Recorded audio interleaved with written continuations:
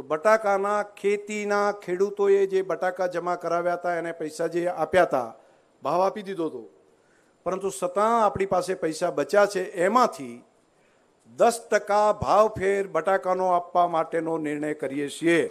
પૈસા આપ્યા, ચૂકવ્યા, એના વગર વધારાના દસ ટકા પ્રમાણનો નિર્ણય આપવાનું કામ અમારા નિયામક મંડળે નિર્ણય કર્યો છે.